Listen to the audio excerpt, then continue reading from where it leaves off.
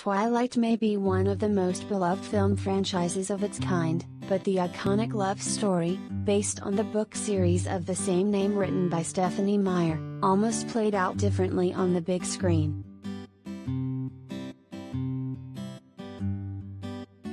During an appearance on the Big Hit Show podcast on Wednesday, Catherine Hardwicke, who directed the first film, and original screenwriter Mark Lord, who was later replaced by Melissa Rosenberg, who penned all five of the franchise's scripts, offered a startling admission about the film's first screenplay.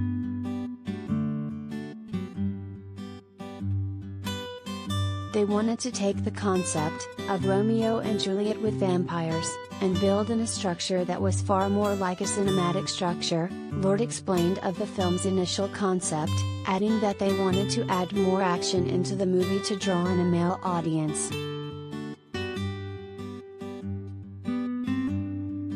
I said, first of all, this script's got to go in the trash. It's no good. You've got to make it like the book, Hardwicke, 66, said. The original script literally had Bella, Swan, on jet skis being chased by the FBI. She was the star athlete, nothing to do with the book.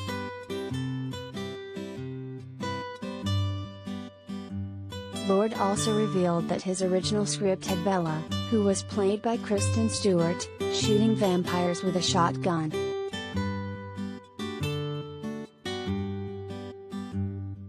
Do you want her to do nothing? I want that girl to shoot some vampires.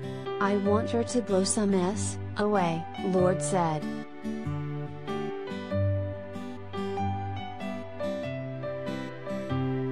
In an interview with The New Yorker in November, Stewart, 31, reflected on filming the first Twilight film with Hardwicke, telling the publication that the director was kind of the perfect person to do a young adult novel that had these dark romantic elements.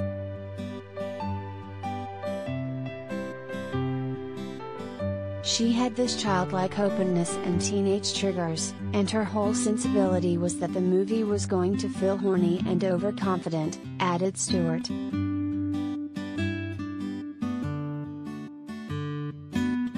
In 2018, Hardwicke told people about the electricity between Stewart and co-star, and ex, Robert Pattinson, who played the role of Edward Cullen in all five films.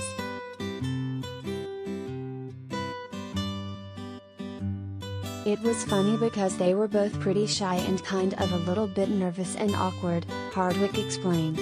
I said, okay, let's go do the biology scene where you guys first meet.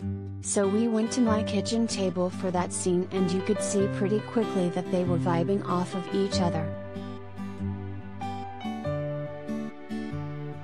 Added Hardwicke, it was pretty positive.